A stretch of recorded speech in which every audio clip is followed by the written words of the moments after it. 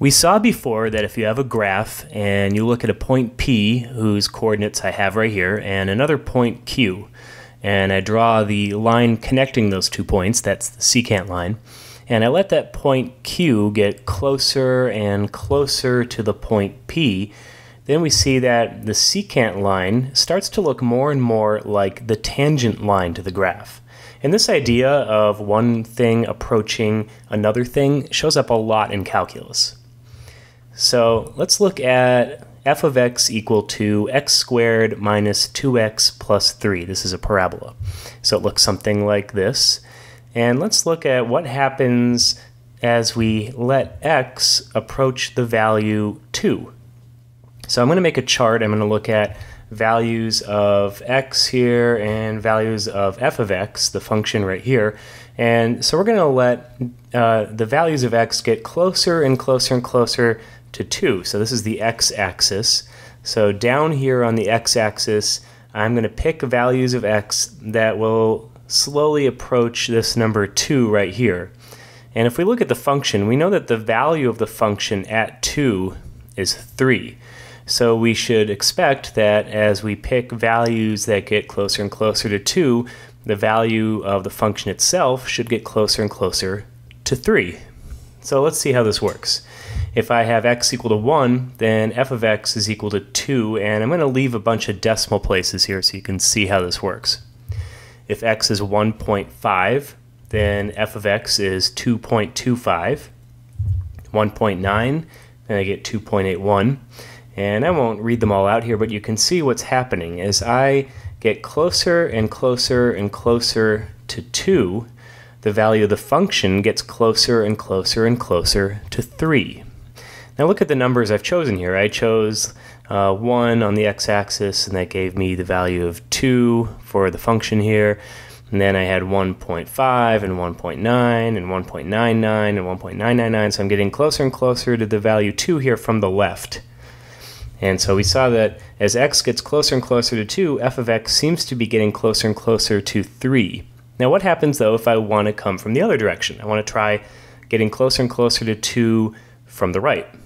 So again, I can make a chart with x and f of x, and this time I'll start over at 3. Then f of x is 6. And then 2.5, I have f of x equaling 4.25. And you can see again how this works as I get closer and closer and closer to 2, the value of the function gets closer and closer and closer to 3. And so uh, again, we see that we have this idea of something approaching something else. We see as we take values on the x-axis here that approach the value 2, on the y-axis we seem to be approaching the value 3. So this is the, the value of the function. So the question is now, how do we express this idea mathematically? Well, what we say is the limit as x approaches 2 of x squared minus 2x plus 3 is 3. So we read this just as I said there. Now, the notation works like this. We have this lim here, that means limit, then we have x approaching some number. So if you remember on the x-axis here, I was looking at something approaching this value right here of 2. And so x was approaching 2. And we were approaching it both from the left and from the right, remember? And then this is the function right here. This is my f of x. And then this was the value that I had for the limit, and that was the 3 that's over here. Because as we get closer and closer to this point here uh, on the uh, x-axis, the f of x gets closer and closer to 3. So let's make this a little more precise. In general, we can say that the limit as x approaches a of f of x equals L means that the limit as uh, x approaches some value on the x-axis here of the function will give you some value L that's on the y-axis. And there's two things to note here. We have to approach the same value from the left and from the right and the function does not necessarily need to equal L at x equals a for the limit to exist. Remember, the limit doesn't care about what happens right at x equals a, it's just what happens as we get closer and closer to a. Now, this isn't real precise. There's actually a real mathematical way to state this definition, but for now, let's just get an intuitive feel for how this works. So here's another function. So this was the same parabola that we had before, except this time it's not defined to be uh, uh, at x equals 2, it's not defined uh, to be what it would normally be. Instead, we're redefining it. We're going to have a, a hole in the parabola and we're going to redefine that point to be 5. So it would look something like this. So you see here that at 2 now we have an open hole and then up here we've defined it to be 5 instead. Okay.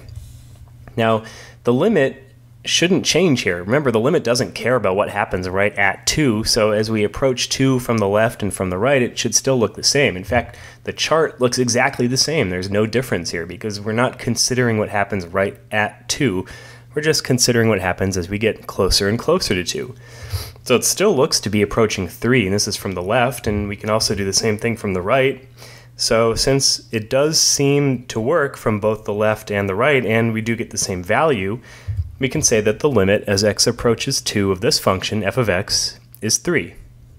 So in this case, I redefined the function at the point x equals 2, but in order for this limit to exist, we don't even have to have the function defined to be anything at all at 2. So I could take this function and just say that it's true for anything except for x equaling 2. So we get the parabola again, we have an open hole, but this time we're not defining it to be anything else at 2. We just have a hole right here and then there's nothing else. Again, the limit shouldn't change because the limit doesn't care about what happens right at 2. So we still have the limit as x approaches 2 of f of x equaling 3. Now, what's an example where the limit fails to exist? How about something like this? So this is a piecewise function. f of x is going to equal 1 minus x if x is less than 2, and it's going to equal 1 if x is greater than or equal to 2. So it would look something like this. So if you notice here is the line 1 minus x, and there's an open hole here because we have a less than, but not an equal to. And then we have a straight line here. This is at 1 for x greater than or equal to 2, so we have a closed uh, hole right here. Okay, so we want to know what's the limit as x approaches 2 of f of x. Well, as we approach 2 from the left, the value of the function gets closer and closer to negative 1. So imagine uh, on the x-axis, we're getting closer and closer to 2 from the left. So we're kind of going in this direction here along the x-axis. What's happening to the function? Well, we're kind of going down here, and then eventually we get here. There's the negative 1. So we're approaching negative 1 from the left as we uh, look at the x-axis getting closer and closer to 2. We have the value of the function getting closer and closer to negative 1. And then if we look at from the right, we see that as we let x get closer and closer and closer to 2 from the right, the value of the function, well, it just stays at 1. It gets closer and closer to 1, well, it actually just stays at 1 the whole time. So there's the 1 right there. So since these values do not agree, we say that the limit fails to exist.